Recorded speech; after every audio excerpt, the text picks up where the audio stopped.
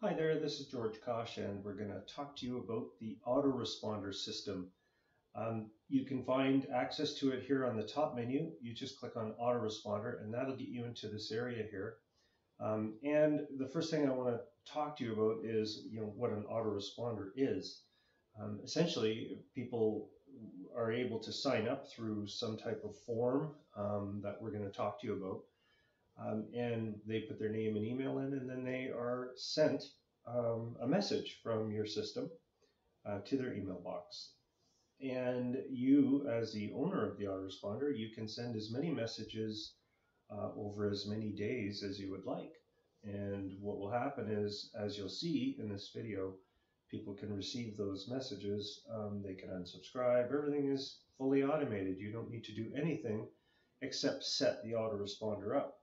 So what you're going to see also is the optional, and this is optional, Email Commander is um, can handle the emailing. Um, and uh, Email Commander, I'm going to leave it to you to go here if you want. You can set it up, um, or if you don't, Worldprofit's Mail servers will take care of your autoresponder system completely. So the first thing we want to do, of course, is use this button here to say, let's add a new sequence. The whole idea of an autoresponder is to have something that you're going to send out to people. Uh, it could be a five day course, 10 day course. It could be uh, something about an, an ebook that you're trying to sell. Um, I leave that up to you. Um, what I'm going to do in the title is I'm going to say, uh, this is my five day course. Okay. Um, and I'm just making this up. Day, um, there are, there are, in the description, there are um, five days of um, stuff. So whatever you decide to do, of course, you're going to think think through it a little bit better than this, but this gives you the idea. You want to keep these short. Um, description, you know, can be a little longer, and uh, you're set to go there. Now, the reply email I keep as my own. That way, when a message goes out and they want to reply, um, they'll get directly to your email box. This is an interesting one here because once they've signed up for the um, autoresponder, they will be able to have um, the ability to uh, possibly be redirected to a page that you've created, maybe on your website that says, thank you for joining. Uh, here's a link to something or, or, or just a thank you. If you leave it blank, that's fine. Uh, we have a default page that simply says, thank you for subscribing, check your email. Okay, so uh, you can leave this set to yes because nobody can join this until we've created the forms to, to sign up to it. So it's okay to leave that as yes. When we say uh, add the autoresponder, you'll see it shows up here under the other one that I created. This is my five-day course. And I left this one here so that you can see that you could have multiple autoresponder systems set up. As you can see now, we have no messages. So the first thing we want to do is we want to go into here and we are going to uh, finalize some, some extra settings and then we're going to add some messages. You are able to be notified to your email, um, which is, of course, your email on file um, as, as a member um, every time somebody signs up. So if you say yes, that's great. You can then, you know, possibly send them, uh, uh, you know, an email uh, saying thanks or whatever. But mind you, the system will also send that to a prospect manager. You can leave this as yes. That way they will go into your prospect manager um, and you'll have access to emailing and things like that. Uh, turn on reCAPTCHA. I highly recommend you do this um, because this will confirm that they're human and that you're not getting signed up um, by uh, you know auto bots and things like that. So I'm going to update that right now. And I'm going to, of course, before we do setting up any forms, we need something to send people. So what we've really done is we've kind of set this thing up and said, this is the name of it, and this is the description, and these are some of the settings. Now we have to actually add messages, and I'm going to start by creating the first one. And this would be a welcome letter, of course. Welcome to my five-day course on on um, on uh, you know uh, something on on uh, um, gardening, for lack of a better term. And then this would be here's here is the information. Now um, for joining. Now in this case, what you can do is you can send them a bonus. Um, you might have uh, sent an email out saying if you sign up for my course, I'll send you a bonus. This is where you would want to put it in the first message. And of course, immediate. Uh, this is important because you can set these to a whole bunch of different options here, but uh, immediate is means they're going to get it right away. And you can do some changes here. You can set their first name if you want. Um, you know, John, here's your letter. So if you were to put this in with both brackets, um, that would be, um, you could do that and you could just put it, you know, first name, first name, here is the information for joining. Okay, so then we say create it. And of course it's now uh, ready to go. You've got your first message. Now you can edit that at any time you want. And of course you can add another message. And this could be day two, uh, whatever you want to call it, day two. And I'll just say message here. And of course you could set this to the day. Now you could set this to two days later or three or four. It's totally up to you what you do. Um, put it in sequence, and there we go. So now you can see we see the day is this is immediately, and then day one, and this can continue for as long as you want. I probably, you know, I'm sort of a 30 day sort of thing at most, um, but there's a lot of work, of course, to, to do. And as people join, you will see them show up here and it will um, move them down as they receive the second day and third day. And you'll see how many people are on the list for these days. Now, this is all finished. We have three choices to create forms because people have to sign up for your list. And uh, the only way to do that is to create forms. Now, the easiest solution is using your landing page builder. And the reason I say that is because uh, you can pick um, one of the designs already in there, and I'm going to show you how to do that, and then we're going to look at these two. So I'm going to go over to the landing page builder, and I'm going to select a, basic one here, just landing page design. And you can see uh, I have a few in here. Um, what's going to happen is when you go into the um, drop-down menu, what you'll normally see is something that looks, that looks like this. Um, you can see there's uh, sign up associates.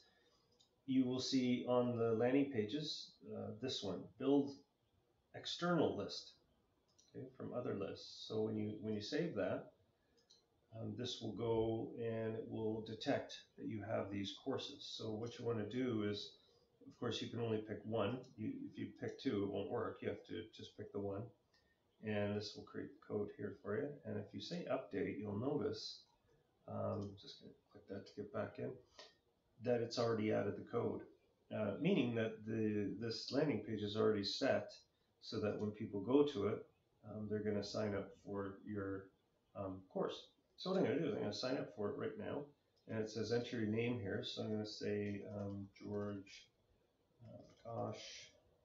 and email address is george at, uh, encore.com. And we say, okay, let's sign up. And you can see I've turned on the CAPTCHA, so this is going to confirm that they're actually real. Um, and they will, they might be prompted to solve a CAPTCHA or, or not. So, complete my sign up. So as you're added, so what the next stage will be is they'll have to check their email and receive um, uh, an email saying that signed up. So that's pretty straightforward. You can now use that landing page uh, to generate opt-ins for your list. What I like about it is you can make changes to things up here. In other words, headline could be the five-day course, second line, third line. So you can completely set this up um, so that it works for people to sign up for your autoresponder. And what you'll see is, is as they come in, if I hit the refresh now on this page, um,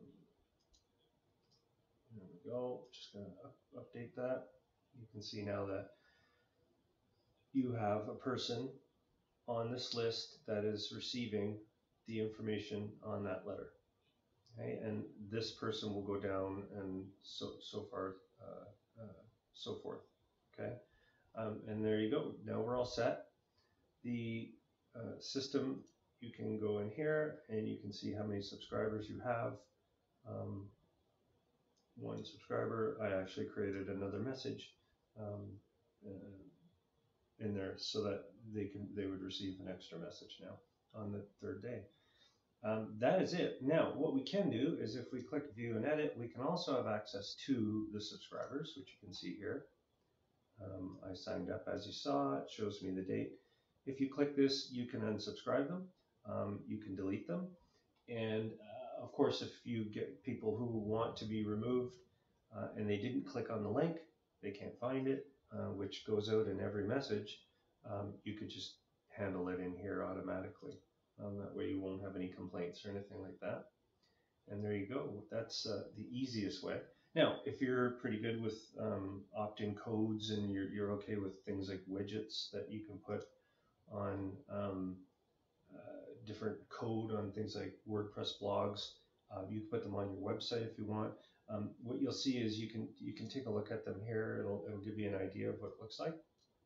And this this will then have code generated here which we can click on this button and it will create the form code that you can then take this code and put it anywhere that you want for that little sign up box to appear.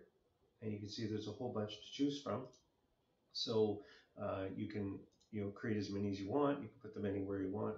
Uh, there's some you know very nice designs here as you can tell. Some of them are very uh, simple, very basic. And of course, the final way to set up uh, code is the basic form code. And this one can be uh, used anywhere you want. It's the same thing. It's a very basic form.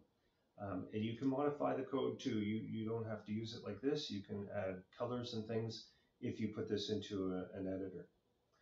Uh, you can automatically add it to your website, um, picking wherever you want it to go. And then when people go to your website, they would see this uh, come up and they could sign up for your, for your autoresponder. Okay. The big thing here is I would recommend testing it uh, with your own email. That way, when you receive the email, you can make sure it works and it's exactly what you want it to be. And uh, that's it. You are all set. Now, the final part of this is to show you how to use the opt-in code if you want, and this is totally optional. Uh, this create opt-in code here works with our program um, and I will have a link uh, that you can you can take a look at, which will be uh, in this area here with our uh, program called Lead Magnet. And Lead Magnet is in the Auto Response Center area, and we'll have a link to it, of course, right over here. The Lead Magnet system uh, works perfectly well with this code. Um, and if you decide to purchase it, you'll be able to log in and I'm going to just take this login link here and I'm going to copy it and I'm going to log in now to my area here. I'm going to bring this in for you, give you an idea of what it looks like. And again, this is totally optional. There we are. And just bring this over.